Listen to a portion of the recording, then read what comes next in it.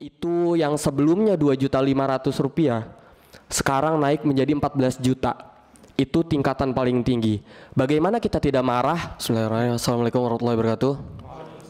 Izin pimpinan perkenalkan saya Maulana Ihsanul Huda selaku Presiden Badan Eksekutif Mahasiswa Universitas Jenderal Sudirman yang dalam hal ini menjadi koordinator isu dari pendidikan tinggi di Badan Eksekutif Mahasiswa seluruh Indonesia. Izin menyampaikan kondisi di Universitas Jenderal Sudirman secara khusus. Kita di Universitas Jenderal Sudirman mungkin uh, bapak-bapak pimpinan sudah melihat dan mendengar melalui media sosial betapa uh, maraknya aksi yang ada di Unsut sendiri. Kita sudah sampai dua kali mengadakan aksi demonstrasi, dua kali juga mengadakan audiensi secara terbuka dengan pihak rektorat, tapi memang hasilnya masih nihil. Di mana yang kita resahkan UKT di Unsut ini naik melambung sangat jauh tinggi. Naik bisa 300 sampai 500 persen. Contohlah di fakultas saya sendiri, saya dari fakultas peternakan, itu yang sebelumnya 2.500 rupiah, sekarang naik menjadi 14 juta. Itu tingkatan paling tinggi. Bagaimana kita tidak marah dengan hasil seperti itu? Gitu. Akhirnya di tanggal 3 Mei kemarin itu kita audiensi terakhir dengan pihak rektorat. Sebelumnya peraturan rektor nomor 6 tahun 2024 sudah dicabut.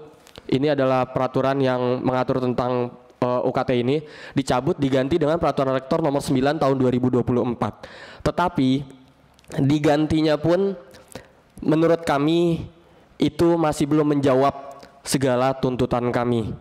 Contohlah balik lagi di fakultas saya itu hanya turun untuk golongan terbesarnya untuk golongan terbesarnya hanya turun 81 ribu. Itu menjadi benar-benar menjadi keresahan kami. Dan ini bukan terjadi hanya di unsur saja Bapak.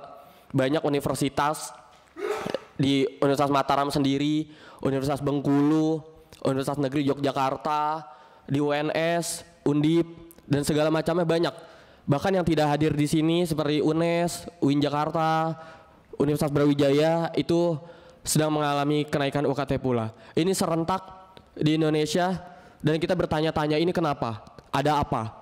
Dan setelah kita ulik-ulik dan ini pun jawaban dari pihak rektorat bahwa pihak rektorat mengacu pada Permendikbud nomor 2 tahun 2024 yang dilanjutkan dengan Keputusan Menteri nomor 54 tahun 2024 yang mengatur tentang SSBOPT atau Satuan Standar Biaya Operasional Perguruan, Perguruan Tinggi.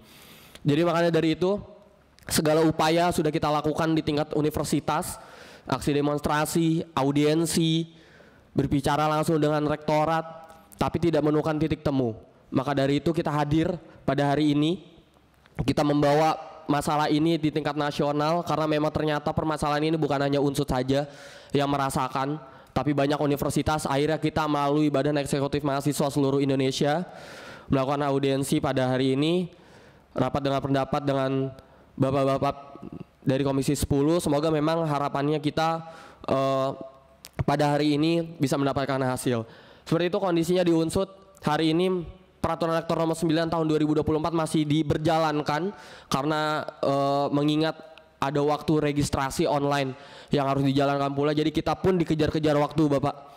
Bagaimana adik-adik kita yang ingin kuliah khususnya di Unsut itu sendiri terdata sejauh ini masih banyak lebih dari 100 orang terdata itu masih sangat merasa tidak sanggup dengan besaran UKT yang didapatnya. Itu benar-benar menjadi salah satu rasa pedih bagi kita.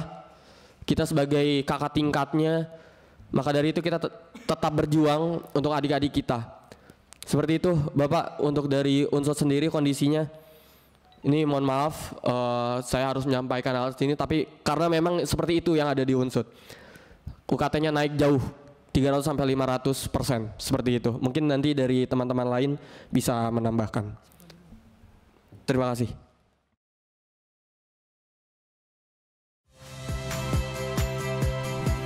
Saya Yasir Neneama.